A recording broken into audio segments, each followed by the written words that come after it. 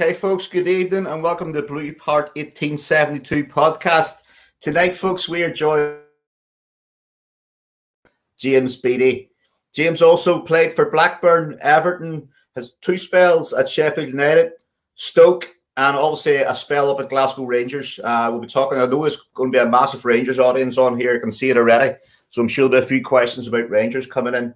Folks, um, coming up next week, uh, at seven o'clock on the Sunday is ex Rangers, Man United, and Northern Ireland legend, and that's Jimmy Nicholl. Obviously, Jimmy took charge of Rangers for a, a few games uh, a couple of years ago when we went through a bad spell. So Jimmy's going to be on.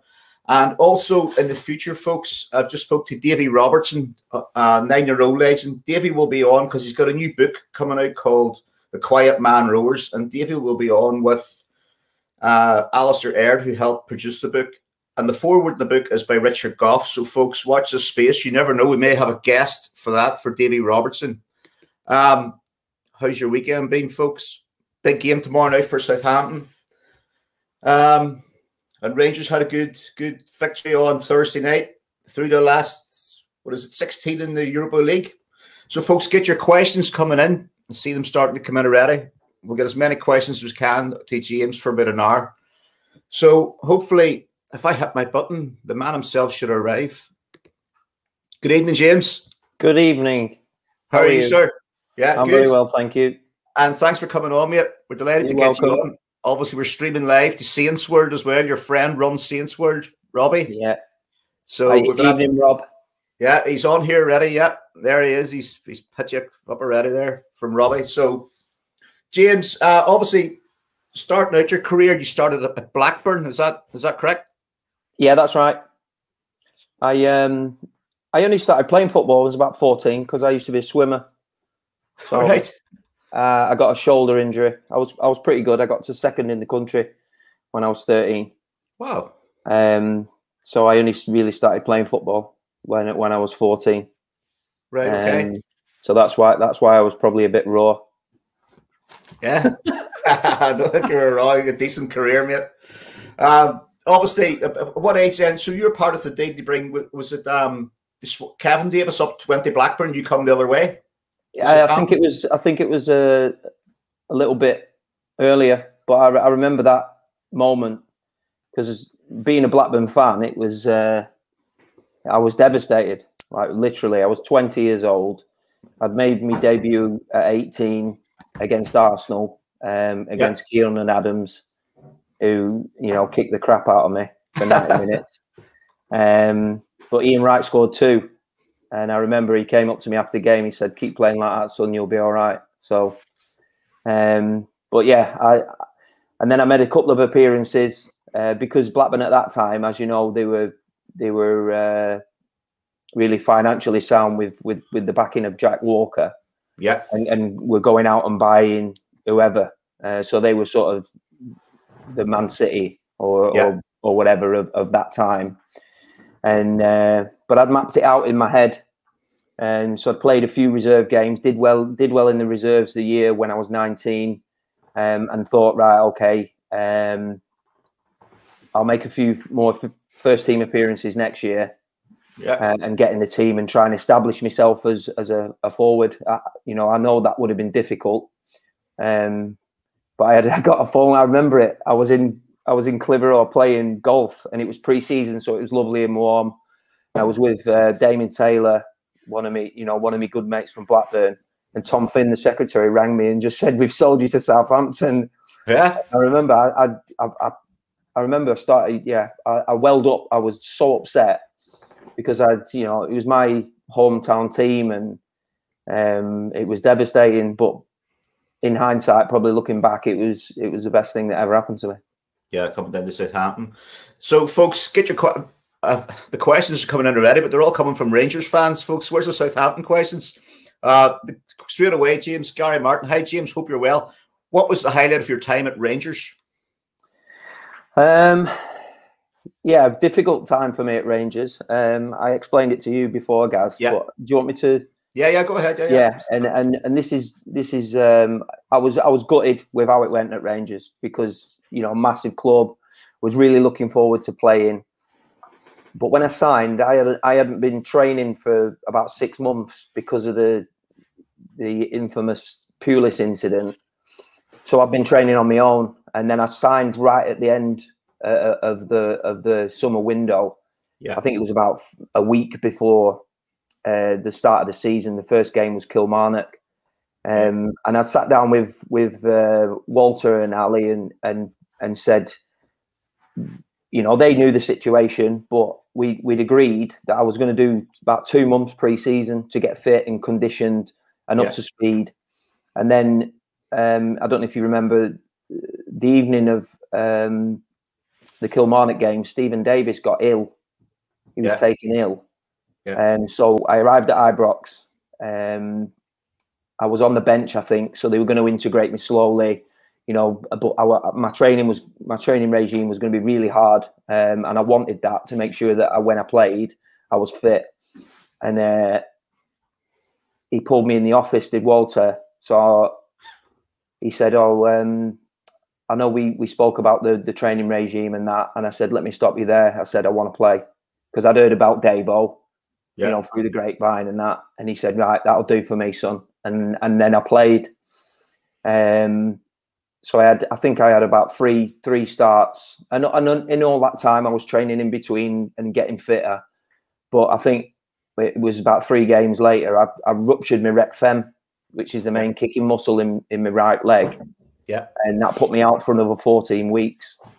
Um, so it it was it was bad timing. Davo getting ill was bad timing. Um, and then in in hindsight, you know, because I was so eager to play, yeah. I just said, yeah, no problem, without even thinking about, you know, if I could break down or get injured or whatever. Um, Yeah. because outside there was 45,000 fans and I don't think anybody's going to turn the opportunity to make the debut, you know, Yeah. sooner than you, you, you would have expected.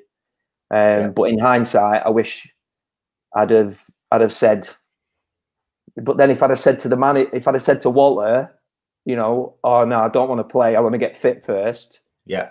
You, you know, but I don't know. It, that's one thing I would change, and I think if if I if I'd have done that, if I'd have done that fitness regime, uh, because of the lack of training leading up to signing for Rangers, Yeah. then I think things would have gone differently. Yeah, yeah. So obviously, you, uh, the Stoke was the, the famous battle with Tony Pulis. Can you tell us what happened there, James? Yeah, I'll tell you. Yeah. I've uh, I've not told this story before. right, you're going to tell me. Um, yeah, well, we we played we played Arsenal, and uh, I, don't- I don't I don't think anybody expected us to win the game. Um, you know, but we were we were we were pretty tough to play against in them days. Uh, we lost we only lost two 0 which I thought was a good result.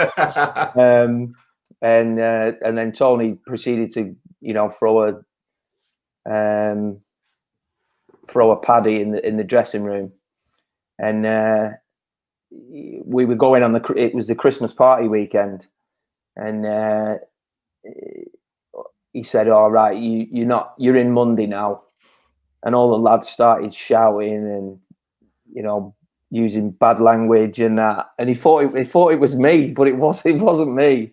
yeah. So uh, about two or three minutes has passed, and then all of a sudden, the, the, the staff changing room opened. He's got his towel round him, and he's he's making his way over to me, and I'm thinking he's coming over here.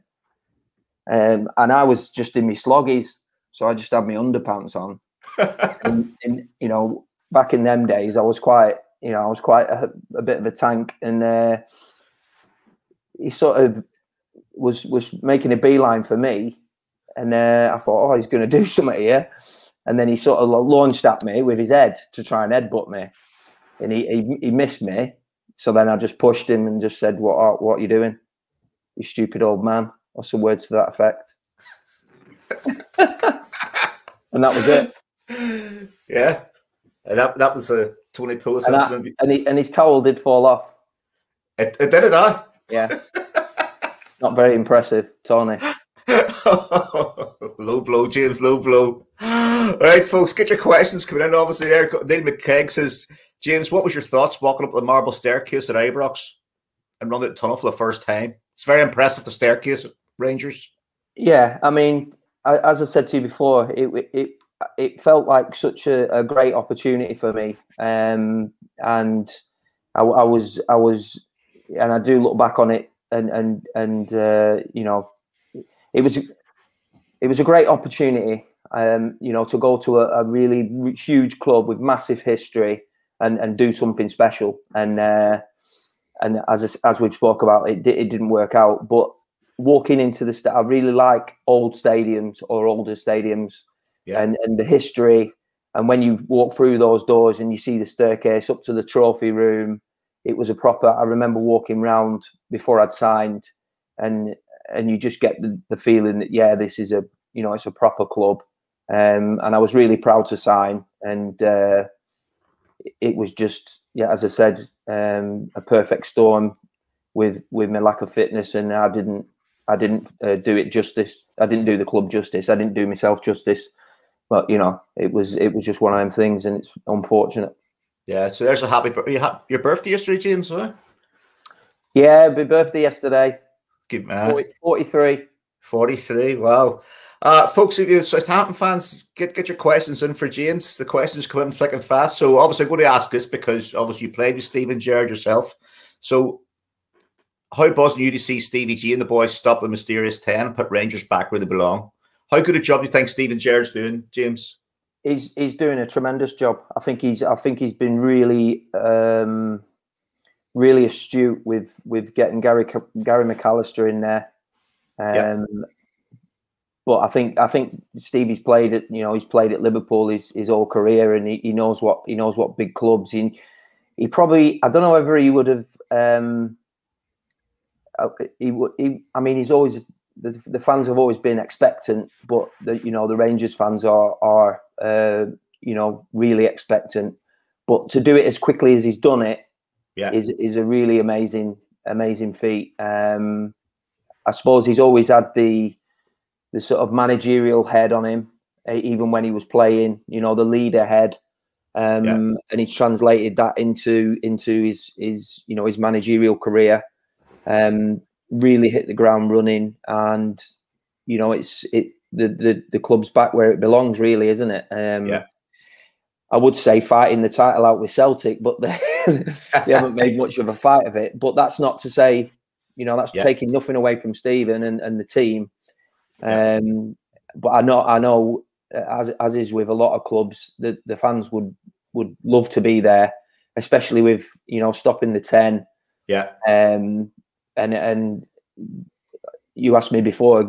I, I love Glasgow. It was a great city. Um, really enjoyed being there. Um, and and you you when you when you I was I was staying in the city in a, in a, an apartment and and when you when you're walking about in the town, you really feel you know the the, the expectancy of the fans. You know back in them days.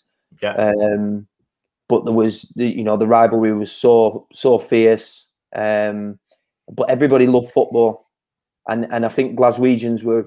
What I found was, I think Glaswegians were really proud of the city, and and they said, yeah, you know, you'll enjoy it here. It's a good city, and even the Celtic fans said to me, uh, as long as you don't play well against us, uh, we hope you enjoy your time here. But um, yeah, he's done it. He's done a great job, and and and as I say, he brought brought the club back to to where it belongs. Yeah, and here's one for you. Good evening, Gary and James. James, thank you for the iPads you give to St Mary's Primary. Very appreciated by the students. You're doing a lot of charity work, James, aren't you, around the city of Southampton? Yeah, I think this, you know, the city's given me a lot. Um, my fam, we we still live here. Um, yeah. I met I met my wife when I was when I was playing down here, and it's a it's a really good city real, you know, lots of potential. We we all understand the the the, the situation that we're all in at the moment. Um, but yeah, I think it's just a way for me to sort of give give the city something back, and yeah, um, I've I've been doing mainly through the Saints Foundation, yeah. um, who do terrific terrific terrific terrific work in Southampton yeah. already. Um, the FareShare stuff was um, you know going and, and packing food up and then and then sending it out, um, yeah. which was great. Met loads of really nice people. Um, you know who do who do it for the same reason, just yeah. to, to to try and make a difference, as as little as that difference may be.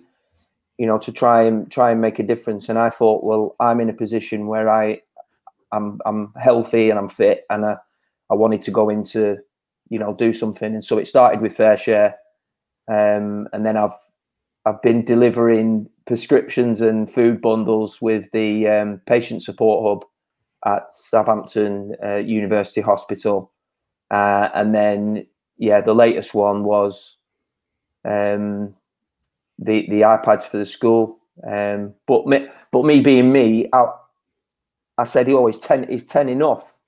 You know, because there's 650 students in that school. Yeah. Um, 250 of which are on the premium lunch package. So it's a it's a it's a really underprivileged school in in a it's yeah. in the shadow of St Mary's. You know where it yeah. is, don't you? Yeah, yeah, I know where it is. Um, but it's in the shadow of St Mary's, and and I just thought, you know, just to try and do. And I, I said to the head teacher, I said, it's not going to cause a problem, is it? Because if you've got students fighting over iPads, I don't want to be the, the cause yeah. of that. And she said, no, it's all right. We we work it into a, a rota, and you know, he, he, even for even for the you know the kids who are at home not to have yeah. an iPad or a it's or or, or to be able to uh, you know a, a, device not to be yeah. able to learn on.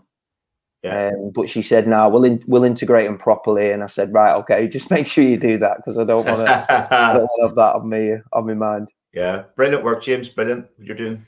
You know, a lot of a lot of ex pros should should copy what you're doing. Fantastic work. Brilliant. Uh, question from Matthew Williams. What was your striking partners? Oh, no. What's if your striking partners at Southampton did you enjoy playing with the most, James? Cool. Um, enjoyed playing with them all, really, but but for different reasons. But I think my, my favourite one was Marian Pahars. Um, Marian sort of came over to England as a uh, as an unknown quantity. It was in the uh, Great Escape year. So I think yeah. a lot of credit's got to go to Dave Jones, you know, for for having the you know the the guts to put him in and bring him over. But he was brilliant. As soon as he, he used to he used to pretend he didn't talk English, Marian, but he did. so any, anything anyone he didn't want to talk to, he just go, huh, what, huh, like that. But he was he was quality, and um, he, he, he sort of slotted in straight away because the, the dressing room was brilliant. Um, you know, a little bit when I first went down there, um, you you had all the experienced lads in there who, who made him feel really at home, and he, he was he was great. He, he's still the only player I've seen who can run at full pace and change uh, change angle like ninety degree angle at full pace. Ridiculous, yeah, yeah unbelievable power in his legs. Yeah. Um, and he was, you know, very good player we yeah. sort of complemented each other well, I think, with a little a little one and a big one, and yeah, but his character was brilliant. He he was great. I still speak to Marian now. Oh, do you? Well, hopefully yeah. we'll get him on the podcast. Maybe you can help us, James. Get in touch with him. Yeah, that's another one. How many more? How many more do you want me to get on? Uh, as many as you can get me. yeah, I'll help you out. No problem. Yeah, good man. Uh folks, keep, keep your questions. I know uh, you's going to be a Rangers audience here, so there we go again. Hi, James. Where do you rank Walter as a gaffer? Yeah, Walter was very good. He he was um, he was you know as I said that we we sat down and talked for ages and and he had a you know a big reputation. Did Walter um, and, and an, an instant res- respect from any player really. Uh, but it was it was great to talk to him. I still see him every now and again. Um, at the LMA dues um, or or the you know the um, the days that they have when they have special guest speakers in. Um, yeah. So he's he's still around the circuit, but he was he he was very good. His man management was was was particularly good. Um, but he yeah good really really nice guy. But he yeah good gaffer, and I just wish I could have repaid him for him signing me. Yeah. Uh, question for me at Robbie. Uh, what Saints manager improved your game the most, James? Um, well, I, I, I've got no doubt who it is, but I, I, I've, I don't know whether uh, it's it's all changed now. Because he he doesn't think the same way. This guy I'm thinking of, he doesn't think the same way as as he did back then. Um, the the answer to the question is is Gordon Strachan by a, right. by a long way. Um, but I remember when Gordon uh, Glenn Hoddle said to me, "You'll never be a Premier League footballer." Wow.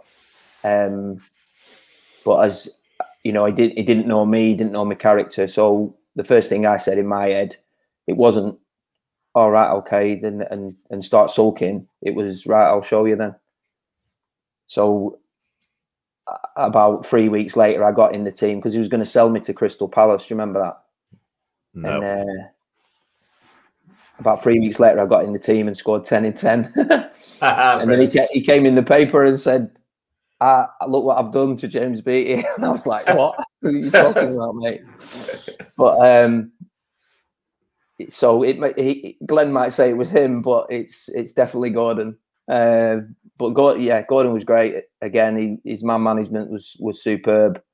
Uh, surely knew how, how to get the best out of me. Um, there was always a line you know where where where you could push it to um because he used to he used to take the mickey out of himself and there was nothing that he would ask me to do that he wouldn't do himself yeah um and he he, he was he was brilliant. Great great um atmosphere and and great culture within the players.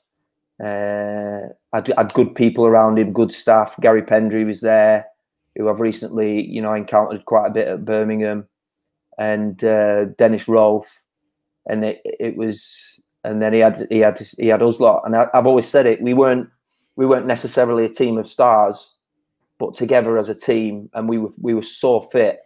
We used to do running twice a week, even if we had a game. And uh, I think if you look at our results at, at that sort of period of time, we we we were we were grinding teams down. We were really tight at the back, you know, not conceding many because we had Claus and, and Michael and Antti and Jonah um, at the back, Dodgy at right back, uh, Bridgie at left back. And so we weren't really conceding, but we had so much energy come the last 15 minutes of games. We, we would, you know, it was nil nil, and then we were relentless. We were just yeah. running all over teams and, and scoring in the last sort of 15, 20 minutes of games. Um, so that was a big, a big thing. Um, and I think I benefited from having the earlier swimming career because of my my lung capacity. I was I was we I was actually at one point playing games and then I know I could have gone. So we had 90 minutes at the end of the game. I could have played another 90 minutes. I was that fit. Brilliant. And that hung and because because you were enjoying it that much and you were that hungry, that yeah. it wouldn't have it wouldn't have bothered me. And if any if any sports scientist had come to me and said, "Oh, you've done too much, you can't do any more," yeah, he'd have got told where to go. well, obviously, obviously, uh, Strachan took you to the FA Cup final as well, James. Yeah. In two thousand and three, uh, I'm sure you had a good old season that season because you scored a lot of goals, didn't you, leading up to that?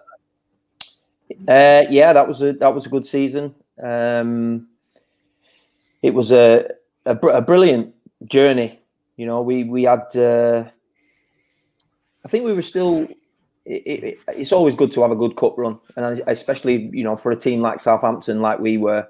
Um, I think we were always we were always pretty solid in the league, um, and not too much. We we weren't really flirting with relegation, so there wasn't really too much of oh yeah, we, we need to concentrate on the league, so we'll we'll sort of uh, or or Gordon wasn't, you know, pick, picking team weakened weakened teams.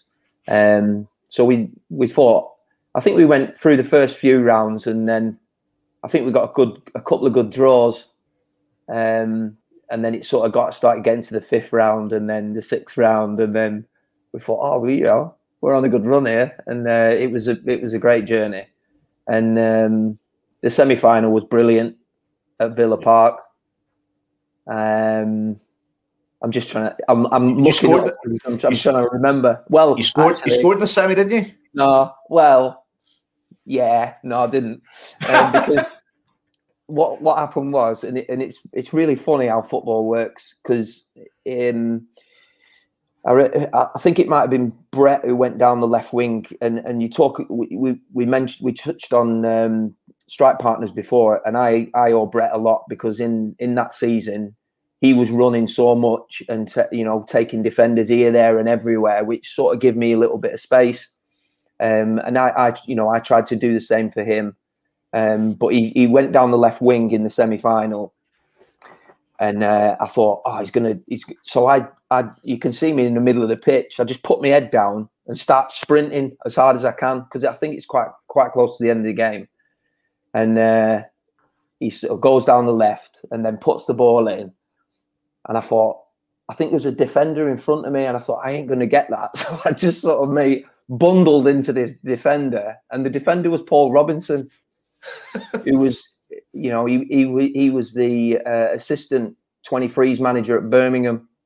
Yeah. Um, just a couple of years ago when I was at Birmingham, and we we spoke about it, and he and I always I always I always uh, I was taught from an early age if if the ball's coming over, then and the defender in the way, put him in the net on the ball, and that's what I did.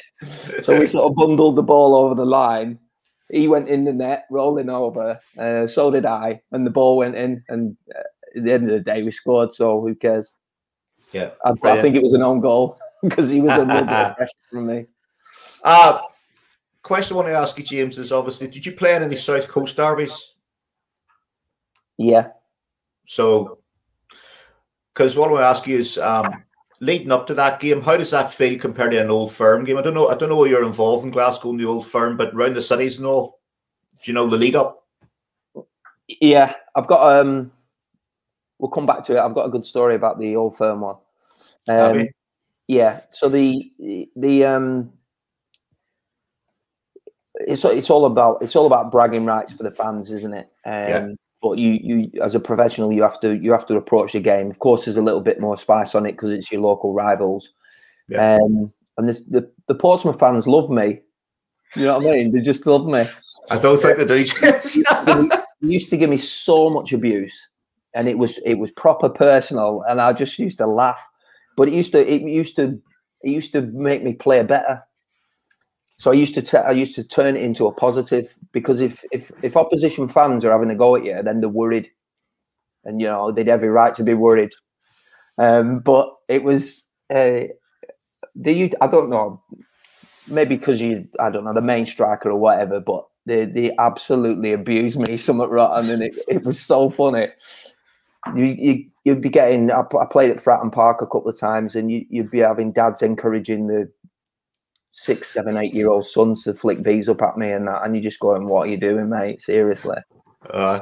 Um, but it was, yeah, brilliant games to play in, um, uh, and obviously, you know, the fans love it when there's a, a, gap between the between the two teams. But I think the the the, the celebration when I scored in the cup um, was was pretty pretty good, and that's yeah. that's that stayed with um, you know the fans and me uh, well up until this point anyway.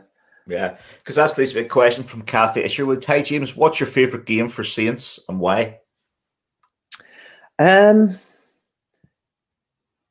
i used to i used to love the night games. Uh I, I think i think any any game is is different under the lights. So it, you know at st mary's um, or uh, the other clubs I've played for. You know, the if you're talking about Rangers, the big European nights at Rangers that we yeah. that we've experienced. I think there's just something about playing at night. Um, and one the one I can remember is probably the the Arsenal game. Yeah. When we won 3-2. Uh, and I think I think Augustine Delgado scored uh, the winner um, again, he, he bundled it over the line, but I think I think that's probably one of my favourite ones. Um, yeah. You could always go for a, you know, a big win or a or a comeback or whatever, but I think that was because they were flying at the time. No, everybody wrote us off. Loved, you know, I, I've a, I've been an underdog all my life, so any sort of stories that go with that and and and and uh, but they yeah, we we were totally wrote off, no chance of winning, and we beat them three two, and it, that was probably a, one of my favourites that I can yeah. remember. Okay, James. Question from Tara Dwell. Uh, Saints have had some unlucky decisions recently. What's your thoughts on VAR? Oh, how long is this podcast? um, I, I, when I when I retired from playing and I went to uh, after I'd finished with Accrington managing Accrington, I went onto the technical panel of the PGMOL, and this was 2013, 14, and yep. they asked me as an ex-player, how how do we increase the respect between the refs uh, and the players and the refs and the fans? Yep. And I said, you have to be you have to be honest. You know, people are not stupid, and especially with VAR because it gets replayed so many times. There just needs to be clear rules that are set out and not changed every three or four weeks. Yeah. Um, which which again causes confusion. Um, and there has to be accountability. So who, who who's making the decisions in the VAR hub? I know the referees now have been told to go over to the screens, haven't they? Yeah. yeah. So that's only that's only sort of recently in the last few weeks. But it just even with so if you want to take an example, go go to the uh, the Brighton free kick yesterday, um, when when Lee Mason's made a, a, an obvious error by disallowing the goal because he's blown the whistle, hasn't he? He said he said to Lewis, well, this is what Lewis Dunk said. He said that yeah, you can take the free kick quickly when I blow the whistle. So he blows the whistle, he takes the ball, he takes the uh, free kick, scores, but then yeah. he blows up. But then he's not he's not available for comment. Yeah. So you can't go into the room half an hour after, and everything everything's just they just deny everything basically. Um, and I've just said more more clarity, um, honesty with the decisions. If end of the day, the referees are human. Yeah. You know, they, they can make mistakes and you and you get more credit for holding your hand up rather than saying it to you blue in the face or, you know, I didn't do anything or whatever.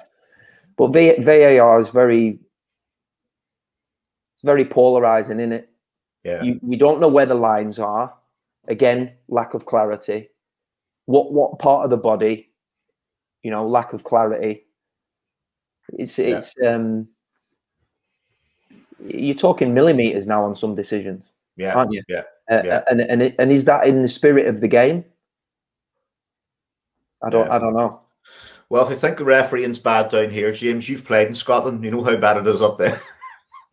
Yeah, there was a there was a few there was a few refs up there that used to get um uh, I don't know what, not not targeted, but they were they had a reputation, should we say, of, of making some rash decisions or bad decisions. But I think just they, they just need, you know, they need, they need the professionals now. So you know, they need they need as much help as as they can get because it is a a, a really high pressure um, yeah. situation that they're in.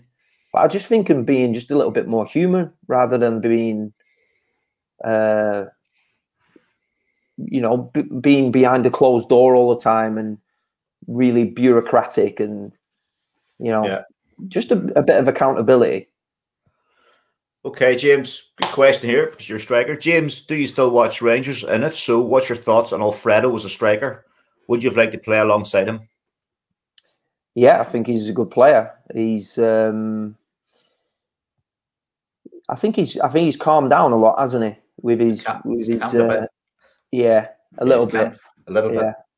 But I think I think that'll be the influence of, you know, himself maturing as a, as a man, but then the influence of, of Stephen and and Gary at, at the club. Um, but yeah, good goal scorer. Um, I don't know whether he, he struggles with his weight, does he? Well, I don't think so. It's just him, uh, It's just a bit bit chunky, isn't it? Burly, yeah. But he's um, yeah, yeah, I think I think that you know they're, they're, they're very tough, aren't they? And he sort of suit he suits the league. Um, but I think again, without the rules are changing, you can't really be too aggressive these days, can you? You've got to be yeah. in control of everything that you do, yeah. which seems a bit strange for a physical sport. But um, yeah, he's yeah, good player. Knows knows where the net is, and uh, yeah, he, he seems to like playing for Rangers, which is important as well. Yeah. Okay, James. Uh, who was the best? Who was the best player James come up against, and who was the toughest? Um, I think the best the best player was was probably Sol Campbell when he was at Arsenal, because he he was he was so big and powerful. Re read the game well. He was quick. Um, we always had some really uh, physical physical battles, but at the end it was always you know shake hands and so it was all it was all anything that went on on the pitch was was uh, was uh, allowed. You know what I mean? So yeah. Whether, but it, it, he was he was probably the toughest. Um, the the the the best, yeah, but he was probably the best, but the toughest. Um, I don't know. Craig Short was tough. There must have been a, a centre half you hated playing yeah, against. It was it was back in the day where you were allowed to give the cent go, you know, through, the, through the back of the centre forward. Um, but I always used to have battles against uh, against Craig. Um, yeah, probably probably probably Craig Short. Right. There's a question from Matt Williams. Uh, what happened with Paul Sturrock? Did he lose the dressing room? Um, I don't know. I just I don't think. Uh, I don't. I remember a story going around actually that that said, "Oh, uh, I'd I'd phoned Rupert Lowe up and said, um, "Oh, you need to get this guy out of here. Either he goes or I go," which is total rubbish. Yeah. Um, but I just think I just think I think Paul Paul Paul was a, a nice guy, but I just think he was a little bit too nice. Um, and and and things didn't didn't really click for him at Southampton, did they? But I don't yeah. I don't I don't necessarily remember him losing the dressing room. I just don't think the results were were, you know were, yeah were good enough uh, at that time. Yeah, yeah, okay, okay. Question from Marlon James. You played with my all-time favorite player, Chris Marsden. I loved that he was a proper hard man on the pitch. What was he like in the changing room, and did you enjoy playing with him? Yeah, Mazza was was a a, a great character. Um, he was he was it, Mazza. Ma, the good thing about Mazza was he knew he knew what he was good at. Um, we, we all loved him. He was brilliant as a as a personality. Um, he, he was a winner and a and a leader. Um, and he, he he just he didn't he didn't complicate anything. He just kept it simple. Um, but he loved playing football, uh, and he, he was he was brilliant in the dressing room. He was very he, because he was a little bit older than you know myself and a few of the other boys. He used to sort of look after us a bit, but there was a there was a few guys like that. Um, but Mazza Mazza was great. He was he was a little bit nuts, but he, he was great. Yeah, and I did. Yeah, I really enjoyed playing with him. Yeah. And who was the good? Who was the characters on there, James? At that time, Dodsey was Dodsey in the middle of it. No.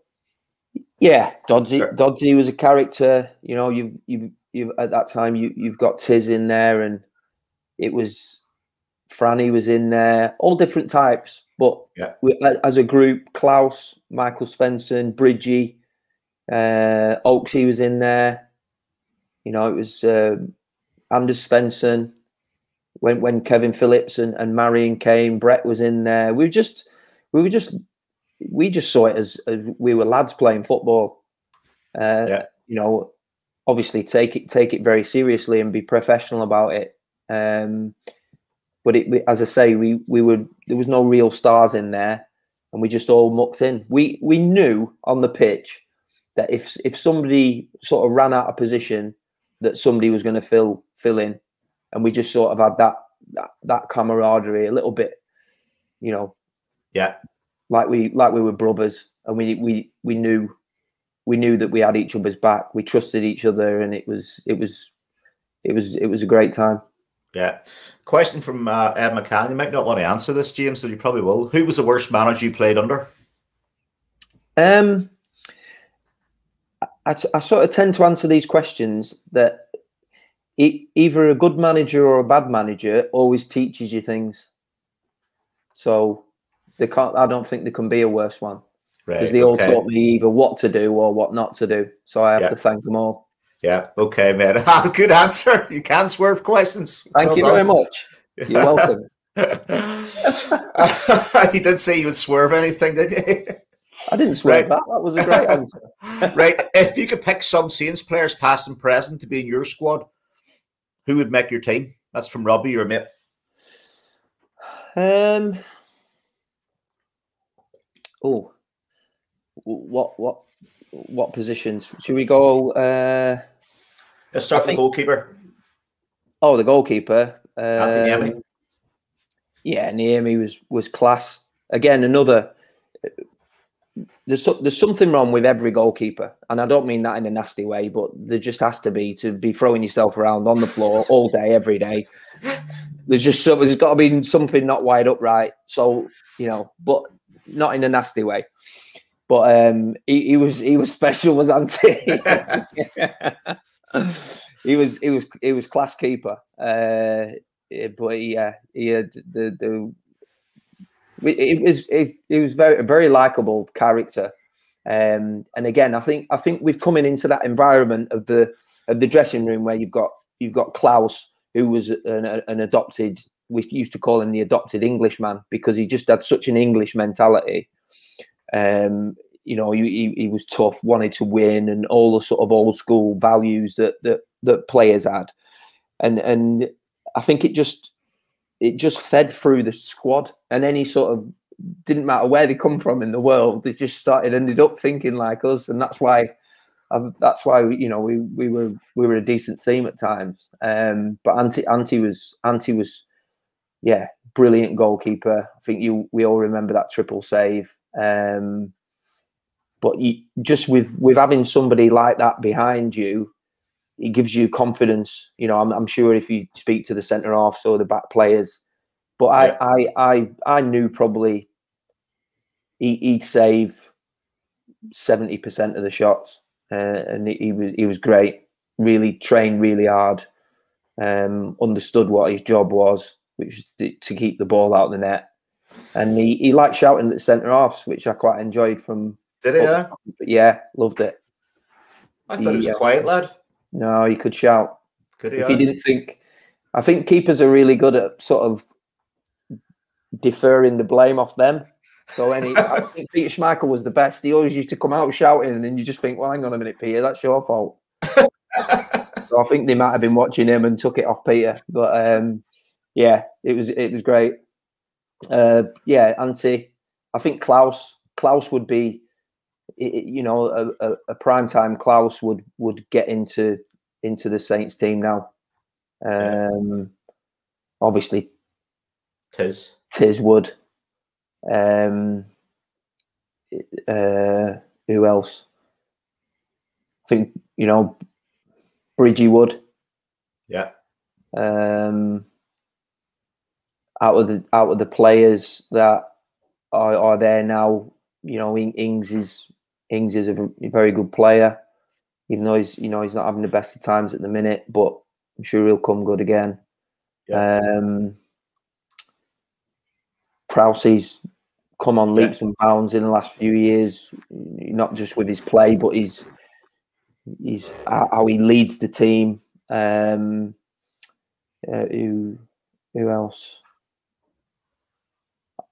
Um, I like Stuart Armstrong. Yeah.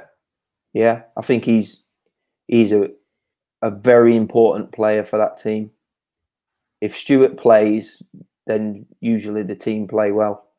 Yeah. Um, I know he's, he's he's come down, but he's he's really impressed me Yeah. with his with the way he plays and how how, how confident he is on getting on the ball and making making things happen.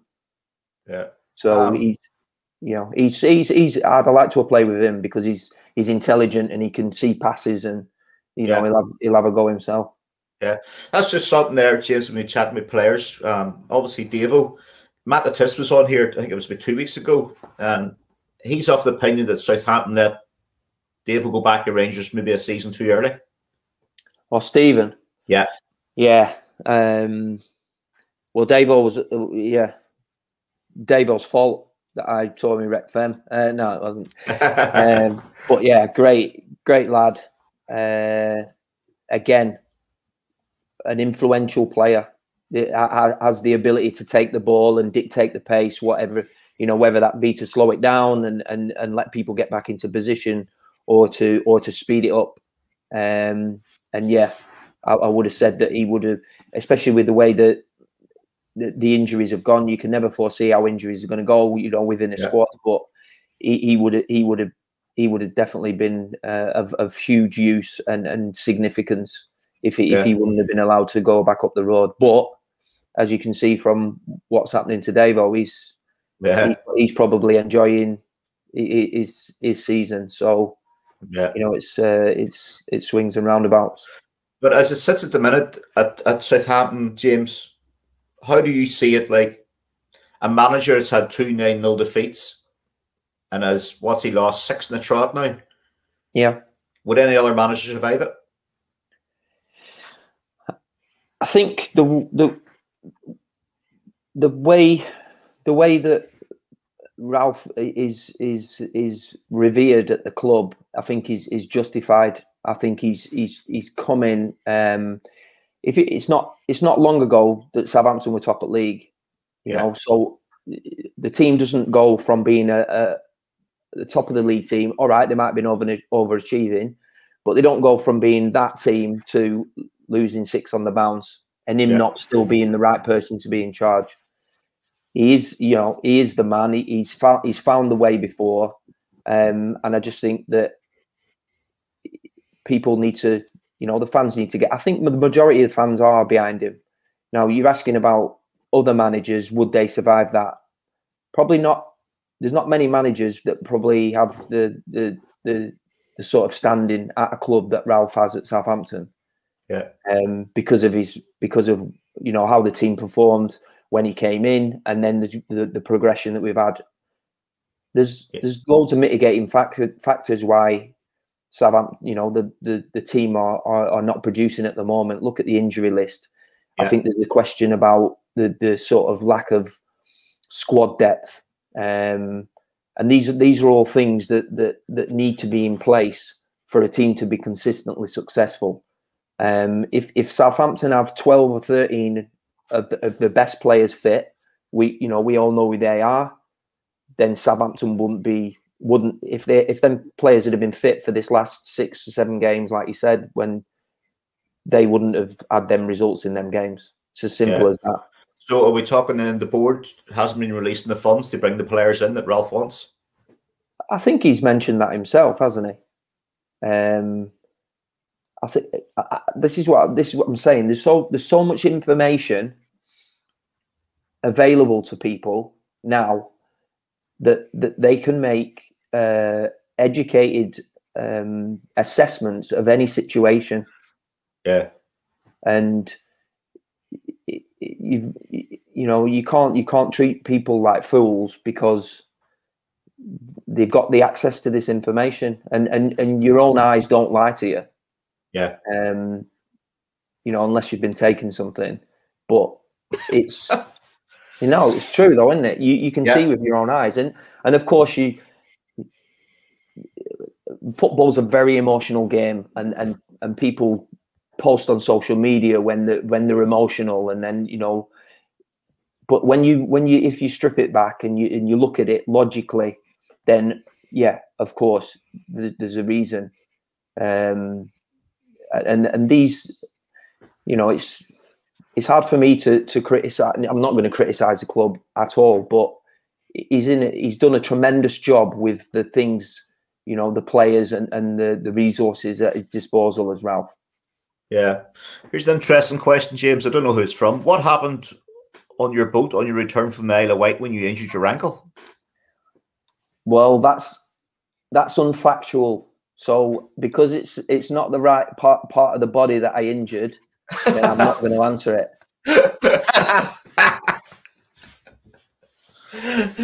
All right, we'll leave that. Okay. Uh, question uh, uh, from Robbie. I think Tella is one of the Saints youngsters who has great potential. Any youngsters there that stand out for you, James?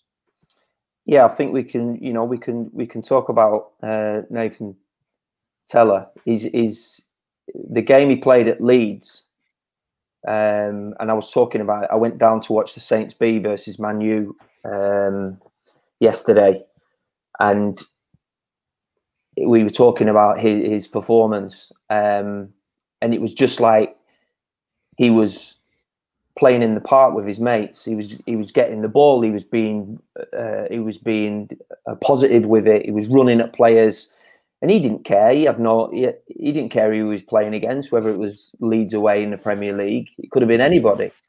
Yeah. But that's the sort of thing that you want the more senior players to be doing. Yeah. You know, there isn't there isn't any fear. Fear is fear is something that that, that may happen in the future. And and however you let fear affect you, yeah. then you know it hasn't even happened yet. Yeah. So yeah. realistically, fear isn't isn't even real because it, it, it's not in the present. It can only happen in the future.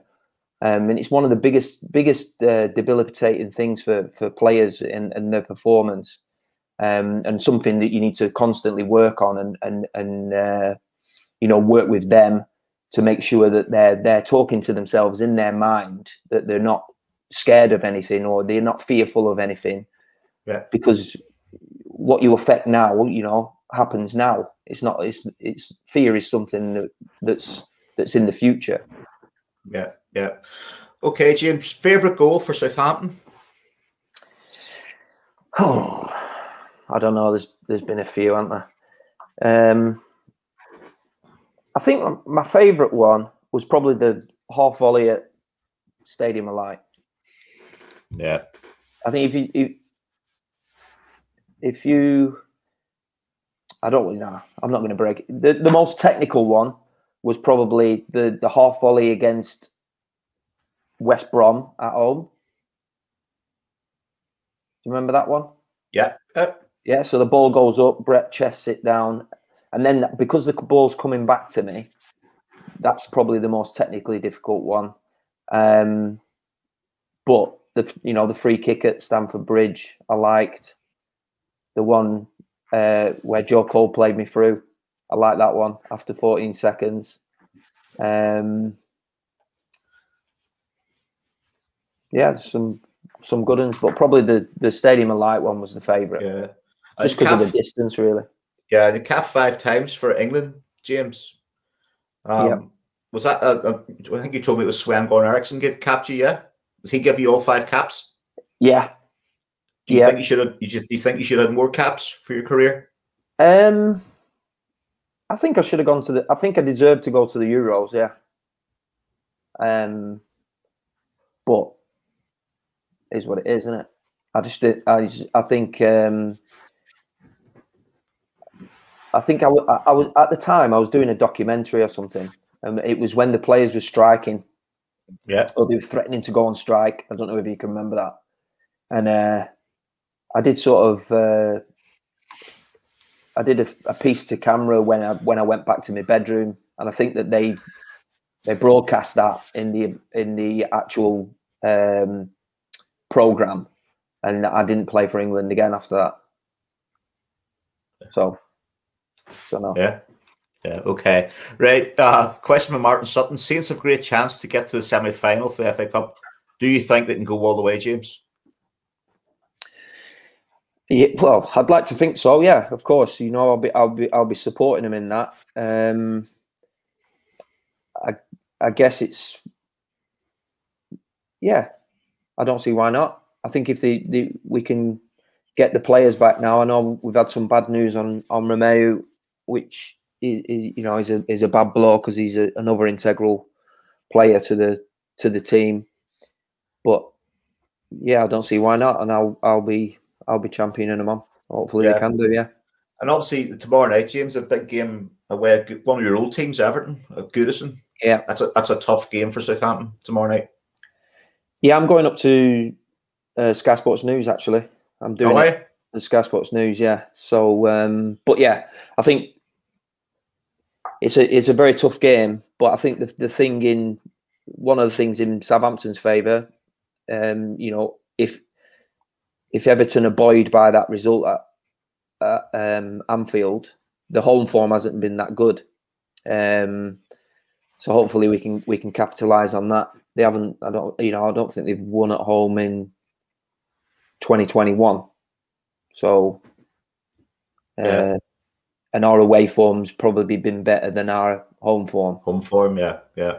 So hopefully the two can, you know, yeah, make make sure that that goes in Southampton's favour. Yeah.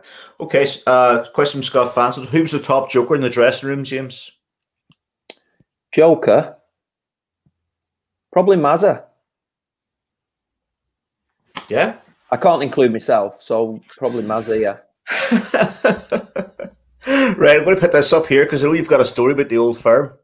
So it says, oh, yeah. I, I rated you highly as a, a, player, James, and would love to see you score the winner in an old firm game. You played in some high tempo matches, but which ones would you compare to the madness of an old firm? Oh, I, I was watching Sky the other day. Uh, uh, I think it was yesterday, and it was an old firm game from. Uh, well, Kenny was playing. It might have actually been, and and um, Maurice Edu scored the. Oh, the last kick of the, winner. game. Yeah, yeah. Do you remember it? I think yeah. I, was, I, I was at that game, but I, whether I was in in the stand injured or, or on the bench, I don't know. But um, I always t- I always tell uh, my mates you have to go to an old firm game. Yep. Having having uh, I, would not been to one until until I signed for Rangers, but it's it's it's it's like I, I always liken it to when we had the the run up the week running up to the FA Cup final and, and the buzz around the city. Yeah, you know, but it's like that for every old firm because when I was up there, it was it was it was crazy. Uh, I, I don't know. I, you get you get different games that have different tempos for different reasons. Um, but I don't know what it's going to be like. Well, I don't know what it's like to play in front of no fans. But when you when you have the fans there, yeah, there whether it's at Ibrox or or it's at, at Celtic, it the the the living and breathing every single ball and every single tackle and every single pass, you know, and and and the it's going up and down like this and the, and the volume, but the yeah, one that was one of the things the the noise, yeah, um, and they they, they were brilliant. And I always I was going to say before, I always tell my friends you have to go to a game and watch one and, you know whoever you support, you've got to go and experience the yeah. old firm when when the fans are in, when the fans are allowed back in, obviously. Yeah. Um, because they were they were just they were just great. And I, I my first one, I was a bit like, whoa. you know, it was it was it was a, a spectacle. Yeah, definitely. Yeah, yeah, because all the players, obviously, it's, it's chatty players have played at Rangers, but players like you're talking players like Ronald de Boer's played in Barca Madrid games. Uh, Kanchelskis has been up there, has played in Merseyside derbies, he's played in the Manchester derbies. They've all said the old firm all yeah. day long for atmosphere. Yeah. Totally. I think I think yeah, you're right. Um, two two deep, you know, big stadiums full, uh, and the and the passion and, and, and what's at stake. Uh, the the noise didn't really seem to to go down. It was always either you know either really loud or ridiculously loud. It's, it yeah. doesn't even get, doesn't even get quiet when when the ball goes out for a, a corner or a you know a goal kick or whatever. Yeah. Right, here's one here. This is this come out of the blue. Uh, Lee Brown has James had any contact in regards to Road Southampton? Not as yet. That's the answer. Not as yet. That is yeah. Well, no, I, I, I haven't. No, unfortunately. But um, you know, it's it's obviously something that uh, I would like to do in the in the future for sure. Um, and you know, having having gained uh, eight years experience in coaching as well as me me playing career. And when I managed Accrington, I loved it. It, it was for eighteen months. There was so much to do, but I knew I, I wanted to be a better coach. So now I've done all my coaching badges. I've got my pro license. Um, yeah. And I feel that you know one day I'll I'll be I'll be down at St Mary's in in some capacity or other. Yeah. Yeah. Okay, so there's no contact being made. No. So to answer Lee, Lee's Lee's question, has any contact been made? Role at Southampton? Not as yet, Lee. Not as yet. There you go, Lee. So not as yet. Okay, uh, James, that's an hour you've given us your time yet. We appreciate that, it. I thought we were doing two hours. We can do two hours if you if you you can do two hours, mate. If you want, I can sit here. Yeah. Well, we'll do another twenty minutes. We'll be doing another yeah, twenty minutes. Go on, hour. I'm enjoying myself. Are you good? Yeah. Ah, good. Okay. Right, folks. More questions. Get them in. James is going to give us another 20 minutes. Get the questions coming in. Uh, okay. So, Kathy, as you would have said, she'll be tuned into Sky Sports tomorrow night because James is on. Is it? Are you doing? You going live at the, at the game, James? No, it's it's it's at Sky Sports News. So they'll. I think the game's on Sky. Right. So you're doing Sky Sports News. Yeah, people that are watching the game. Yeah. Right. Okay. Now I'm going to put this up, James. I'm sure you've heard this, right? And it's about Anthony Niemi. Has James heard the Talk Sport Hearts fan talking about Niemi? Yeah. You've heard it. Uh, everybody's yeah. heard that. Okay. He's finished. Yeah, he's finished. yeah. Right. Okay. He's only twenty. He's only twenty. 28. Yeah, twenty-eight. right. Okay. I'm sure you remember Brian Laudrup played for Rangers as an absolute legend for Rangers, but I know what you're going to say here because you obviously played with us. but who would you say was a better all round player, Brian Laudrup or Matt Le Tissier?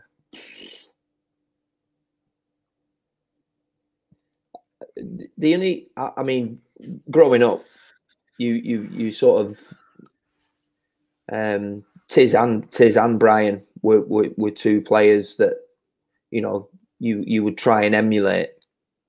Um, I think with having having experienced Tiz at first hand, yeah, some of the stuff he did in training was better than the stuff that we see, you know, what a player re- reeled off. And and and for a young lad to go into an environment where you've got somebody like that, I was lucky at Blackburn because Shearer was there, yeah. and and he was my, you know, he was my hero until I met Tiz. Um, and uh, but to to to watch these guys, you know how how they train and it having experienced that, and and of course I you know do you remember the goal that, that Tiz scored at Blackburn where he picks it up and then he chops a couple of ways and then he hoops that shot over Tim Flowers. Yeah, I was yeah. I was sat in the stand as a Blackburn fan. Yeah, yeah, that game. Wow. And I remember, I remember telling him that, and he went, he just went, just turned to me, and he went, "You're welcome." uh, um, but having having experienced his, uh, uh, you know, in training and, and in games, uh, I would I would have to say Tiz. But yeah. I would on saying that, I know, uh, you know, having having worked with with Gary Monk, he he he was a player. Um, at Swansea when Laudrup came in as manager. Yeah, that's Michael, the brother. Oh, is it Michael, the brother? Oh, Michael's oh, brother. On with Brian. Right, okay. yeah, yeah. But yeah, I think growing growing up, I was. um There were two players that you sort of looked up yeah. to, um, yeah. but because I've had first hand experience of of Tiz, I would I would have to say him. Yeah, yeah. Okay, now here's a good one here because Tiz told a story about when they were. Now, obviously, you weren't there, James, but they had a they had a, a pre-season in Bangor, Northern Ireland. Tiz, so the Tiz has it in his book of the story about the drink. So it's saying Tiz had some funny stories about the trip with the lads. What's the funniest thing that happened with you lads? So it's your time, James. It must be an odd story. Oh my god. Um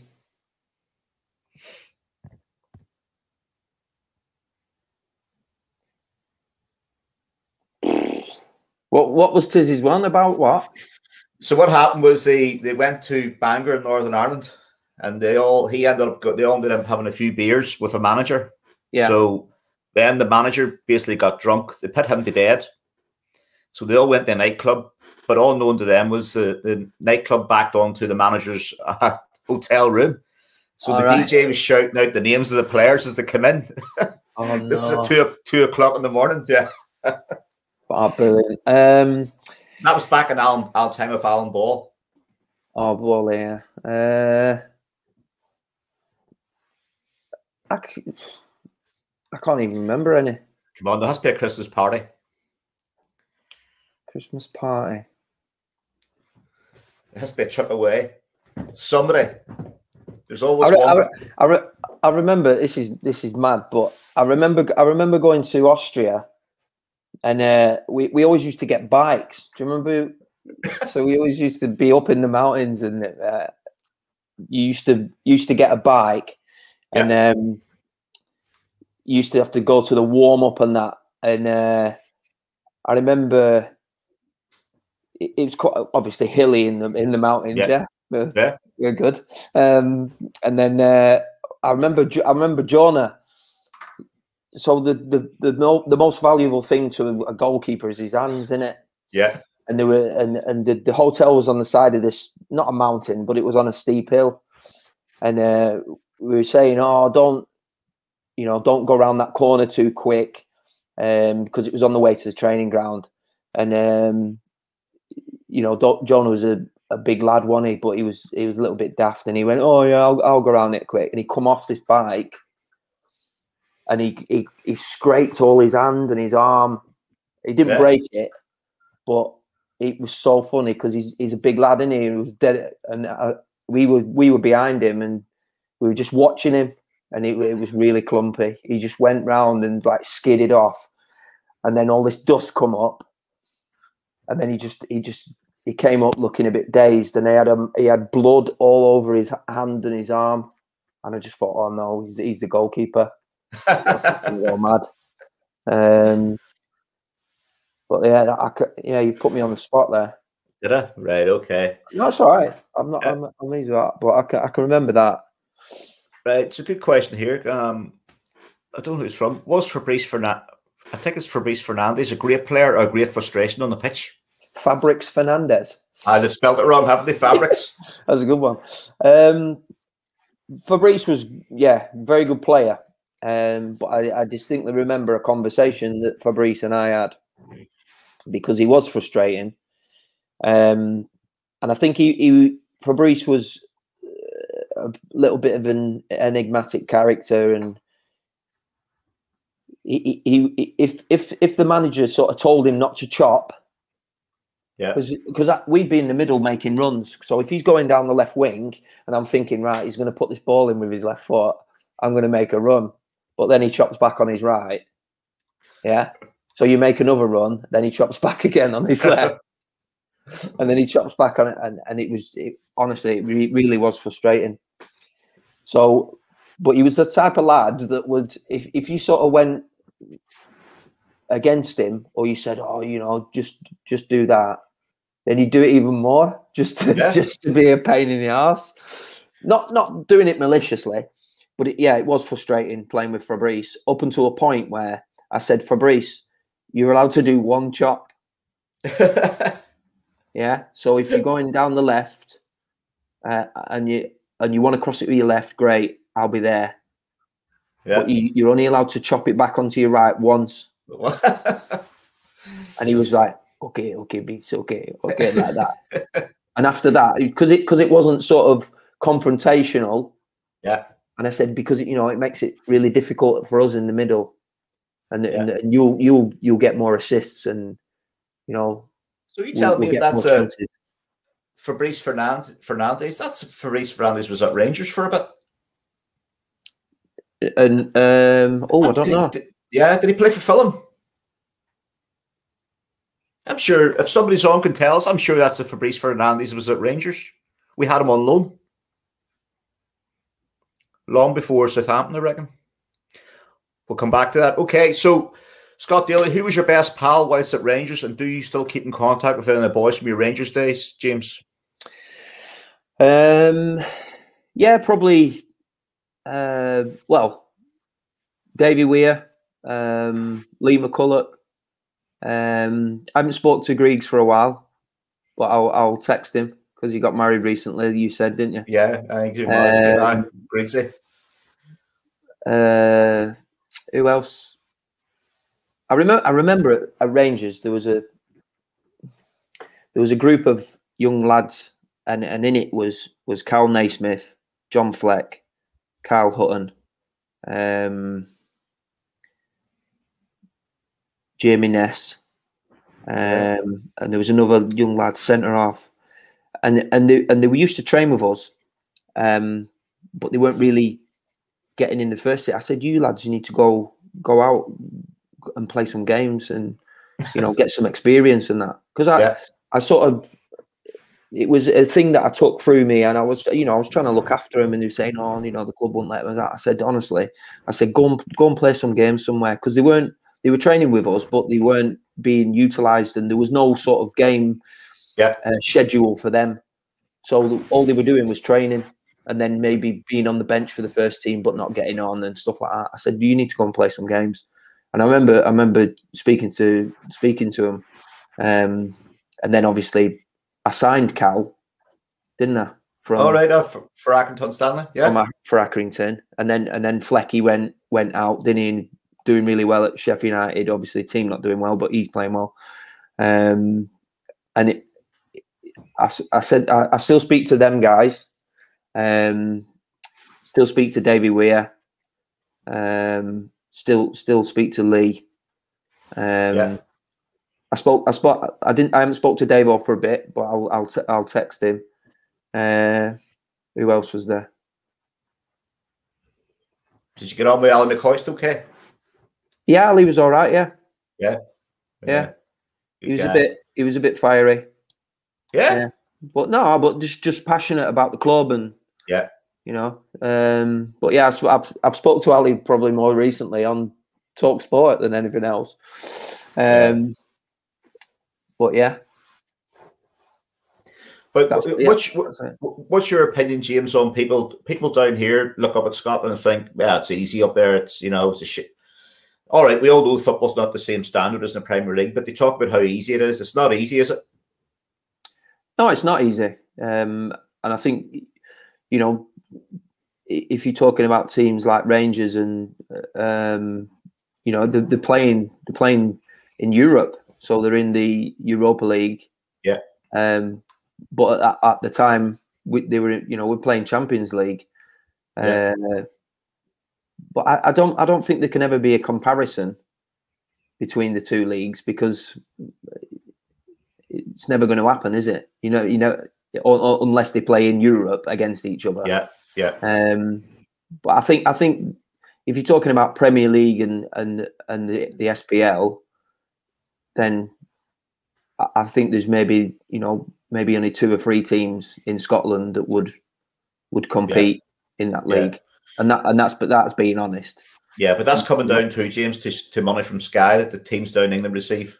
Yeah, yeah. You know, the, you know. the, the the distribution of money is is a is is massively have weighted towards the Premier League. Um, yeah. Should be a lot more that filters through, not just not just to to you know the, the leagues directly below the Premier League, but but to to the leagues below that as well, and into grassroots because the the the youngsters of today are going to be the players of tomorrow. Yeah. Um, and and of course we un- we understand that they have had such an upheaval. Um, so who, who know you know who knows what's gonna what's gonna happen. Um, yeah. But it, it definitely should be distributed better. Yeah. Within the okay. grassroots the game. So we have it confirmed. Yeah, Fabrice Fernandes was at Rangers. Yeah, he was. Season 2001, apparently. Um, and that's from John McKinnon. John, I will have to say good morning to John because John's joined us from Brisbane, Australia. He gets up oh. and watches he gets up and watches all these podcasts. So, so how, how, many hours is he is John in front then? John, what time uh, uh, what is he 12, 12 in front? 11 maybe? So he gets up and watches all these podcasts. Fair play, John. Uh, here's a good one here from Kathy Isherwood. James, do you remember the trips to Paultons Park you and the team used to do with disabled and deprived kids? Paul, Paultons Park is, uh, yeah, it's now it's now my kids' favourite place to go in this. Well, when you're allowed. Yeah, but yeah. We, we we used to do a we used to do a lot of stuff um, in the community, and I think it's important as well for for the stuff. And as I said at the beginning, with with the Saints Foundation, I'm sure I'm sure the players still do it as and when allowed. But yeah, it's really important to be able to. The best thing for me was, you know, you just try and make somebody smile, or you try and make a little Yeah. bit of difference to the day, you know. And uh, it, it was always a high priority for me. Yeah. Okay, this question here. If you could score a goal against what goalie? So obviously that's a goalkeeper you don't like, James. If I could score a winning goal against what goalie? Yeah. Uh, I don't know. You might want to score against one of your mates, and then you can and you can batter him. Yeah. Uh, I don't know. I think I've probably scored against most of them. Yeah. Good answer. Yeah, it's it was funny actually because that that that favorite goal you said to me about uh, was against Tor- Thomas Sorensen, um, and that was two thousand and three, and then in two thousand and two thousand and ten, I signed for Stoke, and he's a Stoke keeper, and it's the first. I walk through the door, and it's the first thing he comes up to me and says, "Don't don't be trying that in training, mate." and it was like seven years before. Brilliant. It Brilliant. scarred him for life. Good. Yeah. You talk you talk about goalkeepers there, uh, James, and obviously we were talking before we came on here, but how good was Allan McGregor for Rangers? Yeah, uh, I think Griegs was was good when I when I was at Rangers, in, you know, in 2010. But I think he's he's sort of uh, see, you know, he's matured as a as a player. And and and I was talking about this yesterday actually about young young goalies, Goal, goalkeepers generally, you know, they, they sort of come into their own when the when they are 30 plus, um, and that's due to you know you get the odd exception that that, that sort of mature earlier, but a, a lot of it. Um, as is with outfield players, but a lot of it to do with goalkeeping is, is mentality and being able to control your emotions. And um, I think that, as I said, Griggs, Griggs was unbelievable in training um, and, and in the games. But I, I- think he, I don't know he, his performances recently have been have been superb as well. So he's he's had a you know Yeah.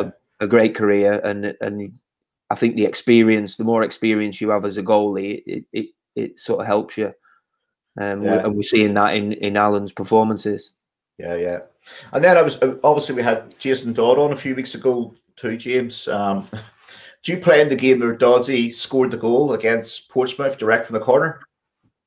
Yeah, scored in that game, Scored in that game. Yeah. what was the score? Three three one, three nil? three 0 Three nil. Well, I'm sure Doddsy's told you a story about his brother, No.